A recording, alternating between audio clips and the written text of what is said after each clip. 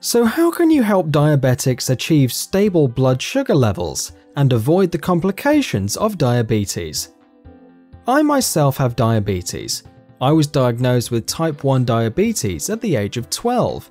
The book Dr. Bernstein's Diabetes Solution was very helpful to me in balancing my diabetes. It's not just another book about a balanced diet and exercising, it's a book that helped me learn how to solve the core problem itself. Let's look at the main principles of the book. My life with diabetes, well beyond a half century and counting.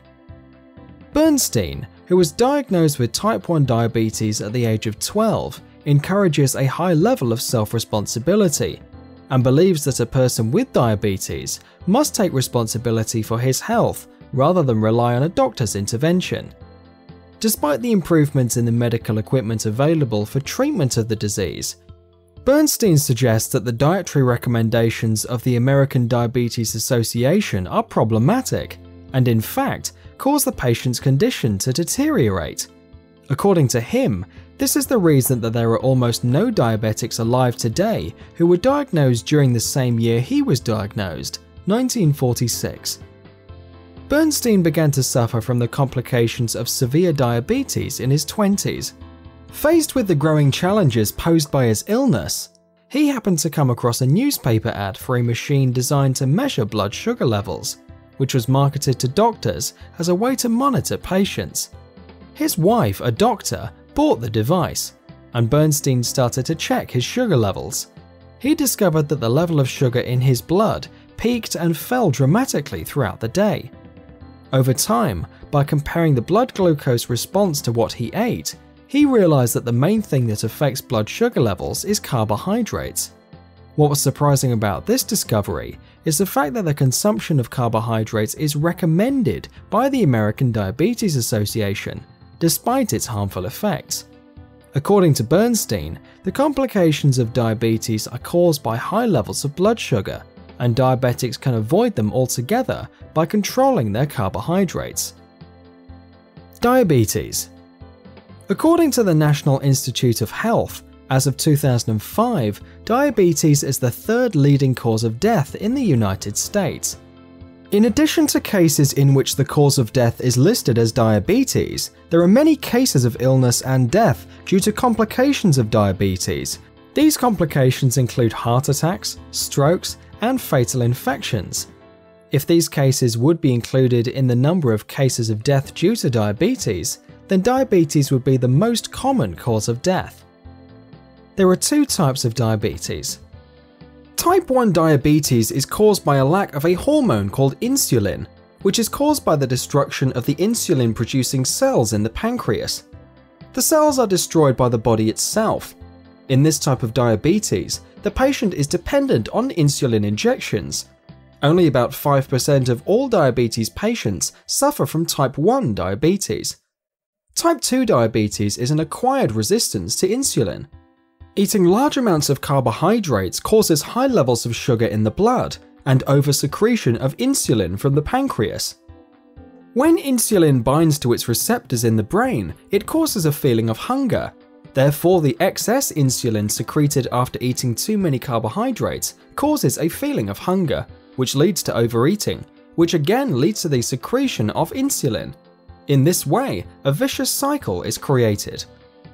This is the reason that 80% of patients diagnosed with type 2 diabetes suffer from excess weight. According to Bernstein's estimation, the remaining 20% actually suffer from a mild form of type 1 diabetes. Meaning, 100% of those with true type 2 diabetes suffer from excess weight. Patients with type 2 diabetes are treated with sugar lowering pills, Long term imbalance in sugar levels as a result of overeating carbohydrates may lead to the destruction of the insulin producing cells in the pancreas and to dependency on insulin injections, as in type 1 diabetes. The laws of small numbers. In order to keep sugar levels balanced, Bernstein suggests working according to the laws of small numbers, which state that the smaller the amounts of carbohydrates in a meal, the smaller the amount of insulin needed to bring the glucose into the cells.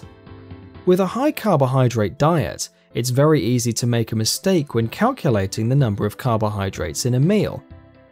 Eating a diet rich in carbohydrates leads to a higher demand for insulin, which at high levels is absorbed in a more unpredictable way. Therefore, diabetics should adopt a diet which will cause their blood sugar level to remain steady throughout the day. A change in nutrition to a low carbohydrate diet is more effective than trying to balance fluctuations in sugar due to a carbohydrate rich diet.